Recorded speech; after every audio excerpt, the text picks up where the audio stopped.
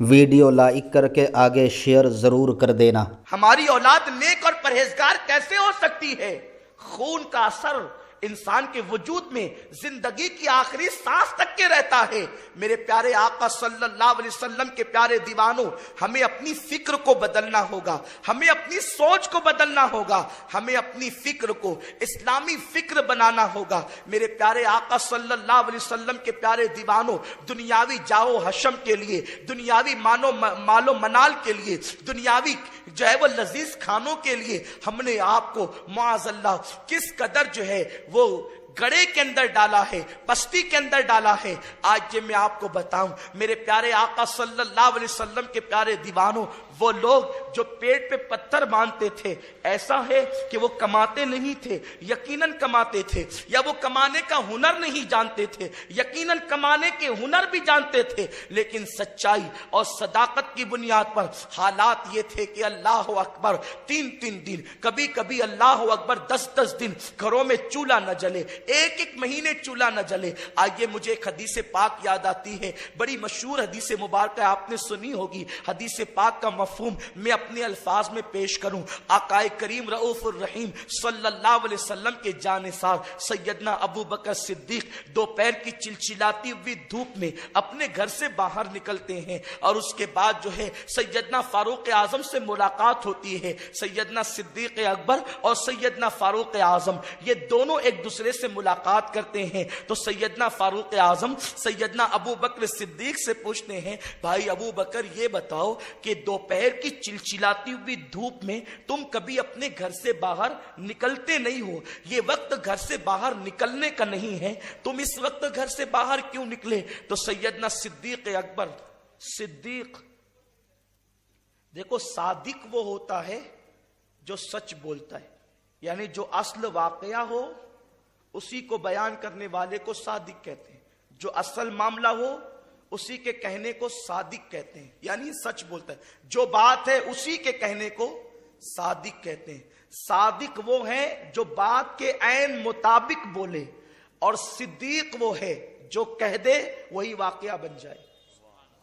सिद्दीक वो है जो कह दे, वही वाकया बन। तो सैयदना अबू बकर सादिक नहीं कहा गया कि अबू बकर सादिक नहीं, अबू बकर सिद्दीक, और वो भी सिर्फ़ सिद्दीक नहीं, बल्कि सिद्दीक अकबर।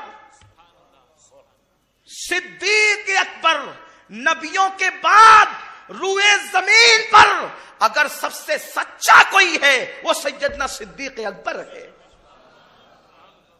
सैयदना अबू बकर सिद्दीक से फारूक आज़म ने पूछा, निकले क्यों? ये वक्त तो तुम्हारा निकलने का नहीं है। सिद्दीक ने कह दिया, सदाकत के साथ, मेरे घर में तीन दिन से चूल्हा नहीं जला है और अब मुझसे भूख बर्दाश्त नहीं होती। भूख बर्दाश्त नहीं होती तो दिल ने चाहा कि दोपहर का वक्त है, बाहर निकलते हैं और किसी दोस्त के घर जाकर कुछ तो खा लें। कुछ खा लेंगे तो भूख मिट जाएगी। लेकिन भाई उमर, ये बताओ, तुम क्यों बाहर निकले? तुम्हारे बाहर निकलने की वजह क्या है? फारूक आज़म ने मुख्तसर जुमलों में कह दिया, भाई अबू बकर, जिस भूख ने तुम्हें घर से बाहर किया है, उसी भूख ने मुझे भी घर से बाहर किया है। मेरे घर में भी तीन दिन से चूल्हा नहीं जला है। किस उम्र की बात हम कर रहे हैं? वो जिसके नाम से कैसरो किसरा के ताजदार कांपते हैं।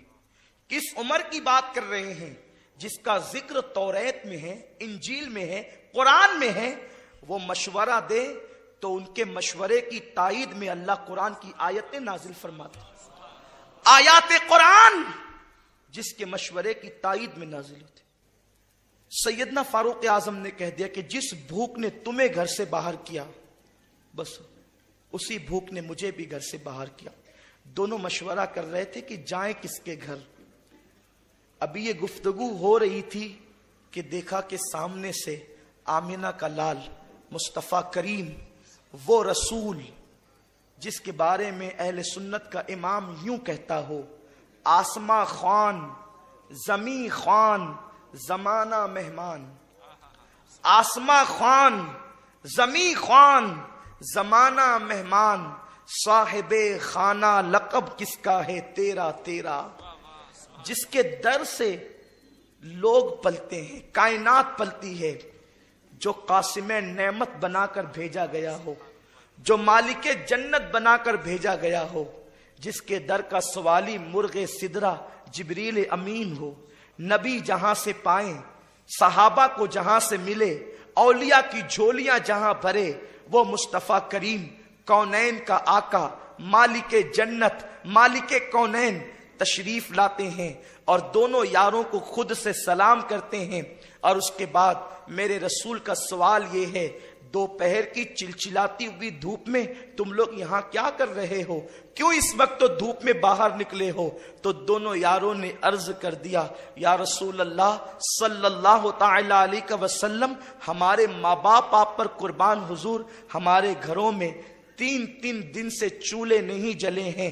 इसीलिए, या रसूल अल्लाह हम घर से बाहर निकल गए भूख ने हमें घर से बाहर किया। आका, ताकि किसी साथी के घर जाकर कुछ खा पी लें। या रसूल अल्लाह हम तो भूख की वजह से घर से बाहर निकले, लेकिन हुजूर, हम आपसे पूछ सकते हैं कि ये वक्त तो हुजूर के घर से बाहर निकलने का नहीं है। आका, ये बताएँ कि आप इस वक्त तो दोपहर की चिलचिलाती हुई धूप में घर से बाहर क्यों निकले? तो मेरे रसूल ने फरमा दिया कि तुम्हारे घरों में तीन तीन दिन से चूल्हे नहीं जले, लेकिन मोहम्मद के घर में एक महीना हो गया है, चूल्हा नहीं जला है। जिस भूख ने तुम्हें घर से बाहर किया है, उसी भूख ने मुझ मोहम्मद को भी घर से बाहर किया है। मैं चाहता हूँ कि किसी के घर जाकर, जो है किसी साथी के घर जाकर कुछ खाऊं। यहाँ पर कुछ लोग हैं जिन्हें हजियान बकने का मौका मिलता है। देखा, अल्लाह के नबी सल्लल्लाहु अलैहि वसल्लम के घर एक महीने तक चूल्हा नहीं जला तो हजूर खुद से घर से बाहर निकले। खुदा के इज़्ज़त जलाल की कसम, मेरे रसूल को घर से बाहर निकलने की ज़रूरत नहीं थी। ये हिकमत के तहत था, तालीम उम्मत के लिए था, उम्मत की सब्र के लिए था। वरना बुखारी शरीफ की हदीस तो है ना, आकाए करीम फरमाते हैं, जब मेरे रसूल ने सौमे विसाल रखना शुरू किया तो लोगों ने देख करके रखना शुरू किया।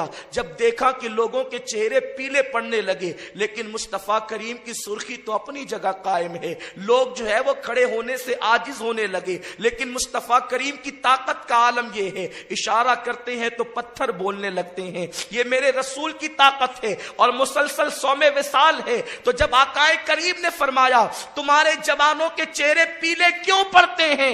ये खड़े होने से आजिज क्यों होते हैं? तो अर्ज़ किया, या रसूल अल्लाह आपको देखकर सौम्य विशाल रखना शुरू कर दिया।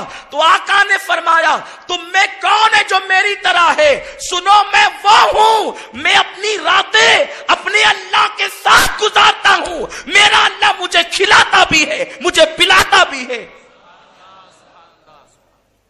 ओलमा की तहकीक ये है, अल्लामा इस्माइल हकी रहमतुल्लाह ताला फरमाते हैं हजूर सलाम अगर सारी ज़िंदगी कुछ ना खाते ना तो हजूर को खाने की ज़रूरत नहीं थी। फिर पेट पे पत्थर क्यों बांधे? पेट पे पत्थर इसलिए बांधे, शेख अबू तालिब मक्की फरमाते अगर वो पेट पे पत्थर ना बांधते तो हजूर सलाम जो कई दिन तक न खाए और पेट पे पत्थर भी ना बांधे तो हजूर सलाम के जिस्म की जो मलकूतियत थी, वो ज़ाहिर हो जाती। और आकाए करीम सल्लल्लाहु अलैहि वसल्लम का ताल्लुक ये जो इस दुनिया से था, वो इस दुनिया की बजाय जो है वो आकाए करीम सल्लल्लाहु अलैहि वसल्लम का आलम नूर से जो ताल्लुक था, लोग अपनी निगाहों से देख लेते थे, अरे आका तो आका है, सैयदना गौसे पाक रदी अल्लाह तालन का हाल ये था कि आखिरी उम्र में जब लोग गौसे पाक से मुसाफा करते तो उनका हाथ लोगों के हाथों से निकल जाता था। यानी जिस तरीके से हवा को कोई पकड़ नहीं सकता आग को कोई पकड़ नहीं सकता। ऐसे बहुत मर्तबा देखा गया अखीर उम्र में कि सरकार गौ से पाक से मुसाफा करते तो हाथ हाथ ही में नहीं आता। किसी ने अर्ज़ किया, ऐसा क्यों होता है कि आपका हाथ हाथ में नहीं आता? फरमाते हैं, बेटो, वो जो अब्दुल कादिर था, वो पहले अब्दुल कादिर था। अब अब्दुल कादिर नहीं है। अब जो कुछ है, वो मुस्तफ़ा का जलवा है। तो आकाए करीम सल्लल्लाहु अलैहि वसल्लम के पेट पे पत्थर बांधने का राज ये था। कि हुजूर सैयद आलम सल्लल्लाहु की वो जो शान है, वो उस तरफ़ लोग अपनी माथी की निगाहों से उसको न देख लें। इसलिए कि देखने की ताब ही नहीं थी। एक नज़र देखने की ताब नहीं आलम को। उस्ताज जमन फरमाते वीडियो अगर अच्छा लगा हो तो लाइक करके आगे शेयर ज़रूर कर देना। अल्लाह हाफिज़।